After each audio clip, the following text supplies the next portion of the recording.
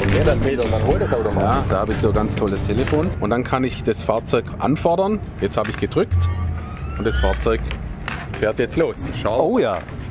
Genau. Die Kunst wird wirklich die Kommunikation. Genau von dem Auto zu der Umwelt. Und dass der Wagen jetzt hier alleine hergefahren kommt, uns quasi vom Geschäftstermin hier aufliest. Aber wenn wir mal schauen, was wir heute schon können. Ja. Wenn man heute mit der S-Klasse in Stuttgart am Flughafen vorbeifährt, so mhm. quasi im Stau fahren, mhm. der, der Stress, der durch den Stau ausgelöst wird, der ist schon sehr zurückgegangen. Ja. Und es macht richtig, ich will nicht sagen Spaß, aber ja. es ist nicht so unangenehm, mehr in einem Stau zu stehen. Das stimmt. Es wird einem einfach viel abgenommen. Ja, das stimmt. Das ist ein richtig gutes Gefühl mittlerweile.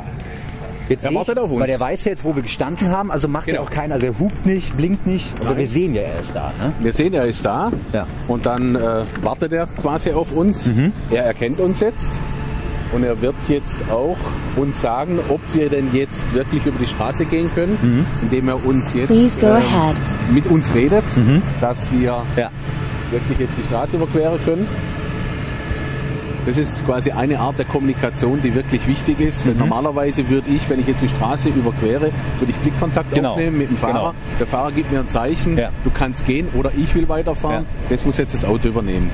Wir haben uns genau darüber Gedanken gemacht und dazu kann natürlich der Laser als System eine Möglichkeit sein.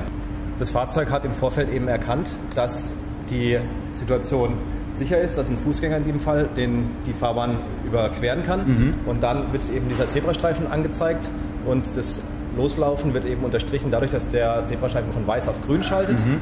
und dann eben beginnt sich zu bewegen, entsprechend der mhm.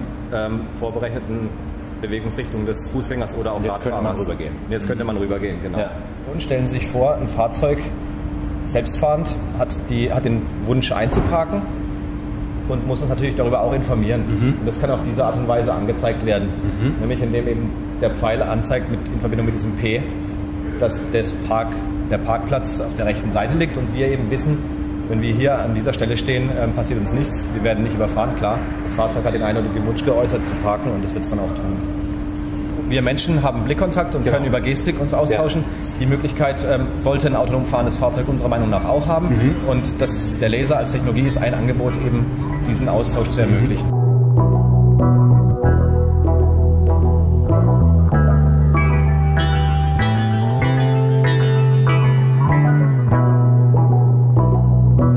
Lange Phase geben, wo es ja beides geben wird. Mhm. Wo es Fahrzeuge geben wird, die ganz normal konventionell fahren mhm. werden und Fahrzeuge, die autonom fahren werden. Mhm. Und dieser Mischbetrieb, der wird sicher eine Herausforderung sein, wenn man sich stellen muss.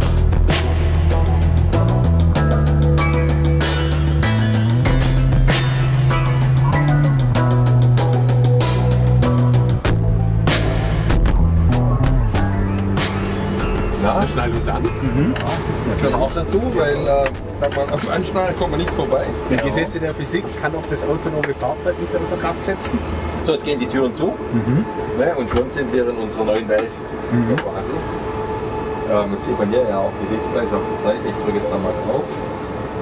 Ne, jetzt sieht man, es ist ein Menü gekommen und äh, jetzt können wir mal gucken, wie wir hier starten. Mhm. Jetzt sieht man ja, dass hier das, das Fahrzeug schön dargestellt ist. Ja, dann haben wir hier die Uhrzeit. Hier gibt es den Go-Knopf und mit dem Go-Knopf können wir jetzt mal gucken, was wir damit losfahren. Genau. Ja, dann okay. jetzt den Go-Knopf starten, dann geht es wirklich los. Und so, jetzt starten wir jetzt. Gerade drauf gedrückt. Ah, oh ja. tut sich was, ne? Und man sitzt doch ganz komfortabel so. Definitiv, definitiv. Man hat viel Platz vor sich auch als, als genau. quasi Fahrer, der bei ja. einem nicht mehr ist. Ne?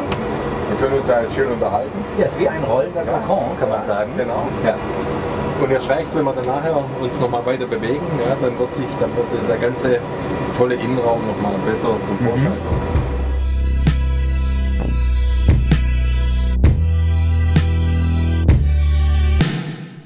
My name is Ratko Jagodic and I'm a senior interaction designer. My task was actually for this car to develop an interface for the dashboard using eye tracking and uh, gesture interactions. The car actually understands what am I looking at and uh, much like human beings, when I'm looking at something, I'm sort of expressing my intent mm-hmm. of interacting with that. Mm-hmm. So if I'm talking to you right now, I'm looking at you, you know that all my gestures and my voice and my speech is actually going directed at you. Yeah. Okay, I'm looking at the center, and therefore I'm interested in controlling the center. So we have simple gestures, a combination of eye tracking and hands that allow you to control different parts of the car. So when I pull pull pull my hand back, it's a, a natural gesture like moving the map closer to you. Yeah.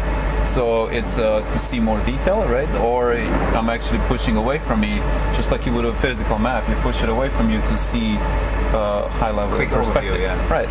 So in this way, a combination of eye tracking and gestures, it's uh, kind of a natural interaction. You just look at it, and it's a simple interaction Mm-hmm. with your hand, and actually you can hear it getting louder or, or quieter, right? When I'm done setting the volume, I just put my hand down Mm-hmm. and go back to reading newspapers or you know using my iPad of the future or whatever that might be.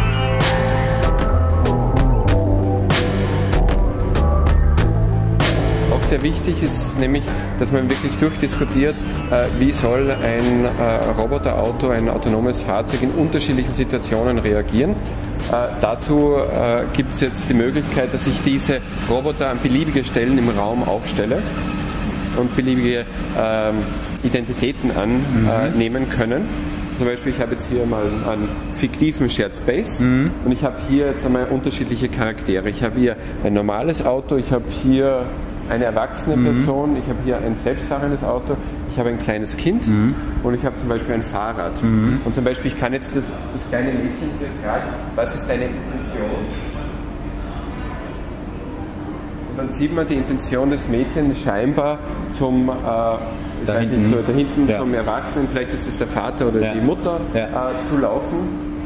Beziehungsweise ich kann auch hingehen und das selbstfahrende Auto hier fragen, was ist deine Intention? Mhm. Dann sieht man hier einen, äh, zu einem Parkplatz zu kommen und anscheinend, äh, hier sind die Parkplätze Ja. und dort sozusagen die Bewegung zu finden. Gut. Und dann können wir uns anschauen, was dann passiert. Also ich starte das jetzt einmal. Weil die Wege würden sich ja kreuzen. Ja, zum Beispiel, in dem Genau. Fall ja. Also das Kind läuft zum Vater, das selbstfahrende Auto erkennt, dass er ein Kind ist, Mhm. blendet den magischen Zebrastreifen ein, wartet auf eine gewisse Distanz, dass das Mhm. Kind vorbei ist, geht weiter oder fahrt weiter, äh, versucht den ganzen anderen Verkehr zu umfahren Mhm. und endet dann quasi auf diesen äh, Parkplatz hier.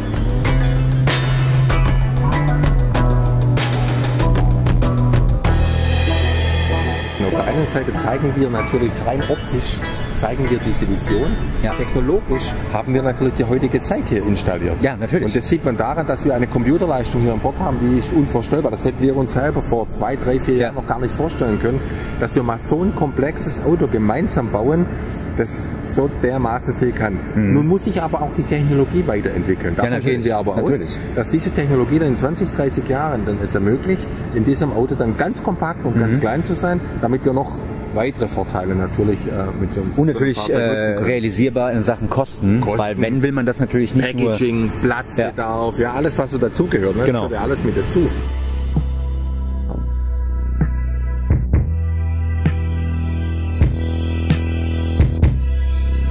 Schon sieht die Welt ganz anders aus, ne? Wir fahren rückwärts. Völlig verrücktes Ja. Fahren, weil man sitzt jetzt wie im Zug quasi. Ja, genau. Ja, Privater Learjet. ja im Endeffekt, Genau, genau. genau. Learjet auf dem Ein guter Vergleich, Ja. denke ich. Äh, Wir heben auch jetzt demnächst ab. Sie müssen nur das Kommando geben und schon geht's ab. Okay. Natürlich jetzt auch zum Abheben ein bisschen Gas geben. Geben, ja, genau. Haben wir jetzt sehr schön gesehen, ja, Ja. Wie, das, äh, wie wir jetzt auf Dynamik gegangen sind. Ja. Ja, das ist halt, glaube ich, die größte Umgewöhnung für den Autofahrer, ist dann wirklich mal sich fallen zu lassen, zu sagen, okay, ich muss nicht fahren, ich kann mich auch mit dem Rücken in den Verkehr begeben und abschalten. Ja.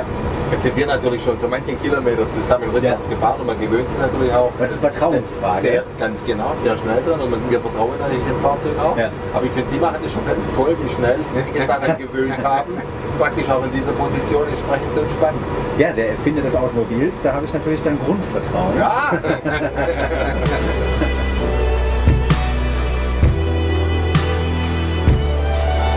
Ich denke, also mein äh, Mini-Fazit ist, man kann so fahren und es so aushalten. Also sehr, sehr schön. Wir haben gesagt, es ist ein Vorschlag, wie wir uns die Vision vorstellen können, wie wir in 20 Jahren Genau. mit, adäquat mit einem Auto fahren können, Ja. luxuriös, mit viel Platz im Innenraum, mit einem hohen Komfort, einfach klassisch Mercedes S-Klasse-mäßig. Genau.